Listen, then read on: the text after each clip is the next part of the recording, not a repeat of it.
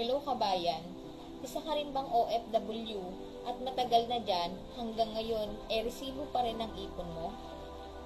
Gusto mo na bang makasama ang pamilya mo at makauwi ng Pilipinas for good? Hi, my name is Kimberly Dino. Dating OFW sa Singapore for two and a half years.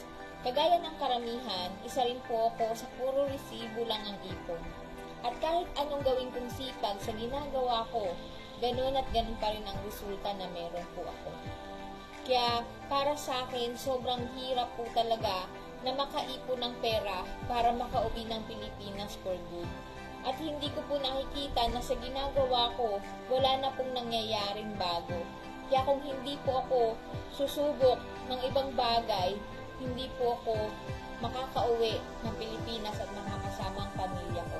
Then one day, pagkatapos ng trabaho ko, syempre nag-scroll ako sa Facebook. Yun ang pinakaunang ginagawa ko after ng trabaho ko.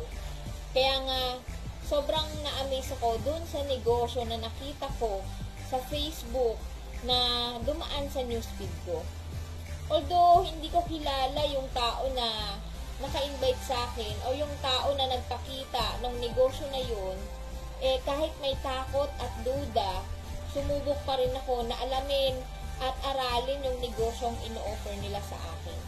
Nung nakita ko yung ganda ng negosyo na inaanok nila sa akin na pwede ko palang gawin kahit busy ako sa pagtatrabaho or pwede ko siyang isabay kahit na patagulang kaya ko siyang gawin sa trabaho ko dahil cellphone lang ang kailangan mo para makatulong sa iyo para makaipon ka at makauwi ng Pilipinas for good. So, in-overcome ko yung takot at duda na naramdaman ko nung una kong nakita yung negosyong yun. Ngayon po, isa na po ako sa talaga namang masasabi kong natulungan ng negosyong ito. Ginawa ko po ang business na to sa loob po ng CR, patagulang, na isinasabay ko lang kahit busy sa pagtatrabaho ko sa Singapore. Nung unti-unti na po akong kumita at nakaipon, nag-decide po ako na umuwi na lang ng Pilipinas, nag-break contract po ako. Kahit na wala po akong ipon sa pagiging DH ko, at kahit na alam ko sa sarili ko na wala po ako mapupuntahan, wala akong bahay na matutuluyan, tumuloy pa rin po ako sa, sa desisyon na makauwi ako for good. Kaya nga po sobrang laki ng pasasalamat ko yung time na hinatid na po ako sa airport ng mga amo ko. Sobrang saya sa pakiramdam na nakalaya na ako sa pagiging OFW. Kaya sobrang laki ng tulong sa akin ng negosyong ito dahil dito sa loob ng tatlong buwan na ginawa ko ito sa bahay lang sa Pilipinas ay natulungan po ako na makaipon ng pera at ngayon po nakapagpatayo na po ako ng sarili kong bahay dahil po sa negosyong ito. Dahil dito, nakapag-accumulate na po ako ng 1 million sa loob po ng dalawang taon na ginawa ko po ang negosyong ito. At napakasarap sa pakiramdam na isa po ako sa nare-recognize ng company namin na award as top 100 performer ng company worldwide. Ngayon, napakarami ko ng mga OFW ang natulungan na kumita at makaipon.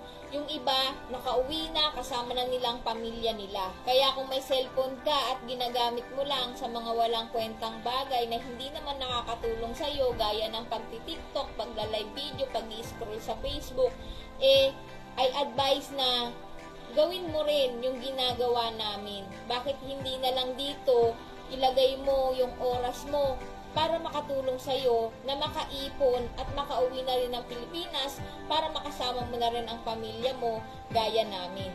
Kaya kung interested ka, mag-comment ka lang sa ibaba ng video na to at willing kaming turuan ka kung paano mo gagawin ang ginawa namin. Once again, I'm Kimberly Dino, isa sa pwedeng tumulong sa iyo. Maraming salamat sa panonood ng video na ito. See you!